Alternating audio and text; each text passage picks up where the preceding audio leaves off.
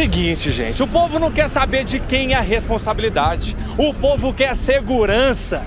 Com certeza. A Prefeitura de BH concorda e faz a sua parte. Bom saber, né? Aqui no centro da cidade tem 133 câmeras. Agora estão sendo instalados mais 460 câmeras e algumas câmeras têm até reconhecimento facial para pegar aquela pessoa que fez coisa errada. Você acha que isso é mais segurança? Sim, claro. Fico mais aliviado. Guarda Municipal nas escolas. O que você acha disso? Essencial. Maior presença da guarda nos pontos e nos ônibus. Excelente. Ótimo. São os lugares mais perigosos, né? E o Carnaval de BH, gente, foi considerado o mais seguro do Brasil ano passado. E esse ano mais seguro ainda. Foi bem tranquilo. Todo lugar você via é, policial, guarda municipal. É isso que o povo quer. Não mudo daqui de BH para lugar nenhum. E daqui a pouco tem mais.